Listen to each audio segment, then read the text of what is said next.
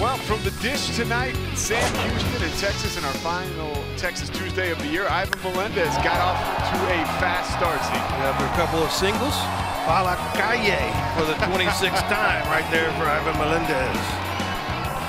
All right, check it out. There was one, and then there were two. Murph also going deep, part of that hit parade in the bottom of the first. Back to back, four hitters, four nothing Texas. They would go on to score three, two more.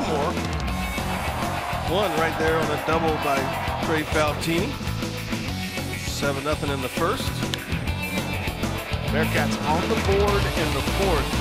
But the success at the plate was short-lived for Sam Houston. Come in, get his first at bat, put a double into right center, scoring Dylan Campbell. The ball gets under the glove. It would be an RBI, the fourth of the night for Ivan Melendez. He gets his 26th. Texas takes the game from Sam Houston 9 2.